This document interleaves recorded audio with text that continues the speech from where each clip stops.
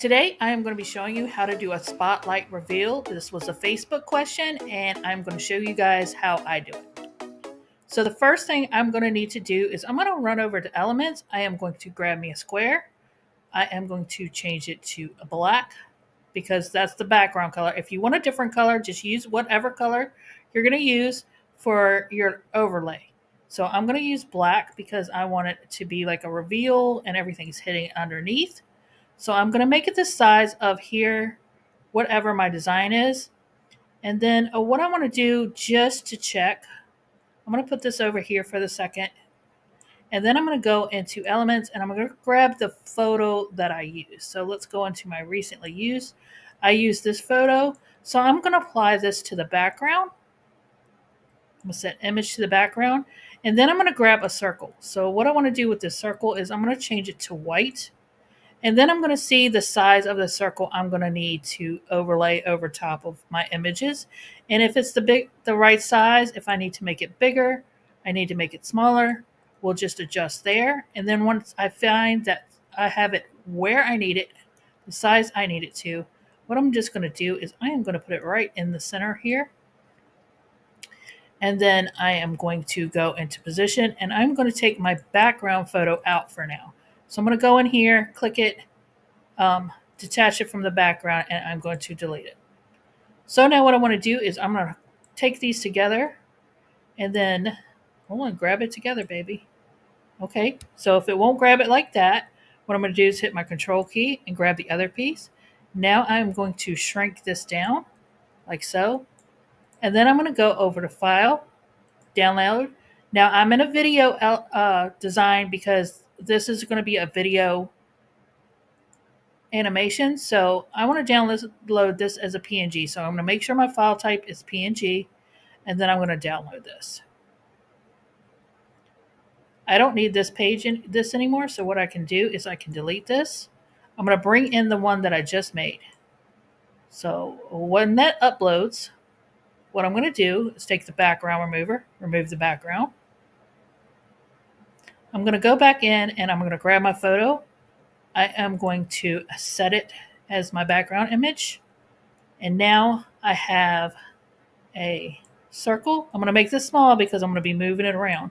So I can go like here. Let me get this out of the way for you guys. And then I can move it around. But you see when I start moving around, sometimes I don't, that's going to not get covered. So how do we cover that part? So what I personally do is I'm going to go and verify before I start animation that when I move this around, everything is getting covered. So I'm going to go into elements. I'm just going to grab a square. I'm going to change it to black. And then I'm going to just go and put it along the edges of this. And I'm going to make them big like so. And then I am going to take this one. I'm going to duplicate it. I want to put it at the top here. And then uh, what you're going to do is just fill in with squares. So when you start moving this around, and I'm going to make these kind of big just because I want to make sure that when I start floating this around, that I don't have any of that background picture showing. So this is just my style. Other people might do it other ways, but this is just the way I do it. So once I have that all together, I'm going to go into position. I am going to hold my shift key down. The top one is highlighted, my shift key down, click on that, and then I'm going to group them together. And then I'm going to do a quick test. So I'm going to make it bigger. And then I'm going to start moving around and make sure that there is no photo whatsoever showing that I don't want showing. So all my pieces are covered. So see like here, if I go here, see how that piece right there is starting to show? So if I need to go in there and make adjustment to the box, but maybe I'm not going there, so I don't have to worry about it. So you might have to adjust your top box because you see how that's going there. So that's something you might have to look at. So, but we're not going to worry about that for right now. That's just make sure you adjust your boxes around the sides that you have enough space to move around. All right, so we're going to go. I want to start off completely black. So hopefully I made enough room. So I'm going to start off black. So what I want to do now is add a page. No, I don't want to add a page. Let's delete this page. So I am going to uh, duplicate this page. And my first one, I want to show the whole picture like it's a reveal. So I'm going to grab this in my layers and make sure you grab it in the layers because if not, sometimes that first one, it'll just grab one of the squares. You want it all to go. And I'm going to take the transparency all the way down. So I'm going to show you the whole thing first, and then it's going to go to black. And then I'm going to hit on my black one right here. Then I'm going to duplicate this page. And then I'm going to start moving my whole thing around till I get what I want. So let's say I want this image, and then I'm going to duplicate the page. I'm going to go over to the next image. I'm going to duplicate the page. And then I'm going to go over to the next image that I want. Let's say him. And then I'll duplicate the page and so on and so forth. And then if you want to, after that, you can go ahead and add text. So I'm just going to cheat and I'm just going to put a text box here. And I'm going to put add heading here. And then where'd it go? Oh, because it's in black. Ooh, let's change that to a white so we can see it. There we go. And then I'm just going to go Control C, and then I'm going to go Control Control V here. And if you want to add an, uh, any kind of animations to this, you can get, do that.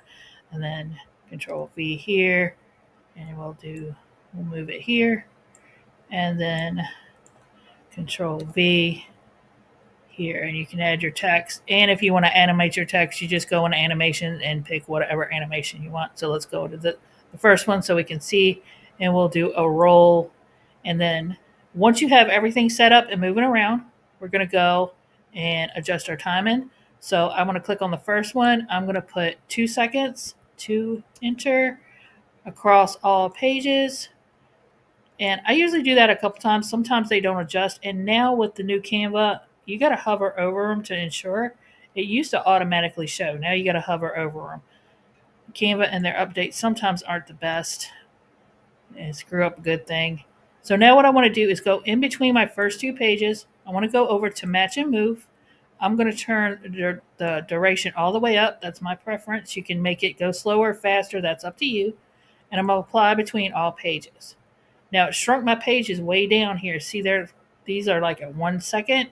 I want them to go faster. 1.5 looks good to me, so I'm going to go up here and do that again. I, well, we'll go back to two seconds since they all say two seconds. And I'm going to click that a couple times, and now we're going to watch through. And we're going to see this animation go. Hold on, let me pause it for you for a second. Let's get that out there and make this bigger so y'all can see. There we go. That is so much better. Let's start over. And ready? here we go. There you go.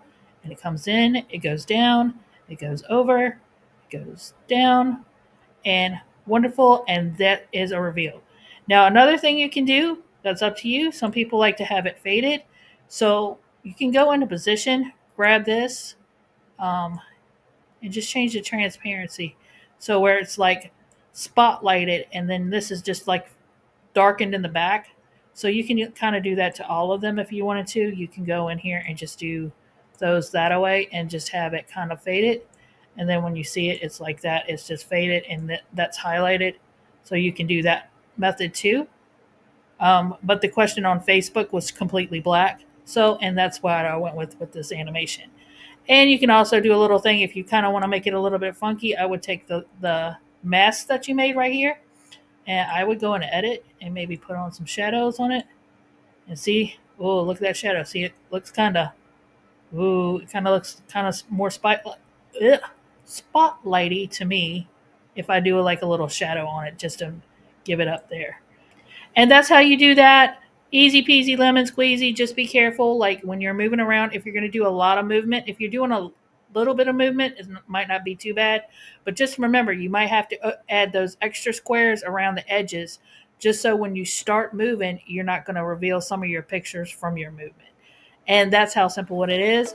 I am michelle. I thank you for guys for stopping by and i hope to see you on the next one. Bye y'all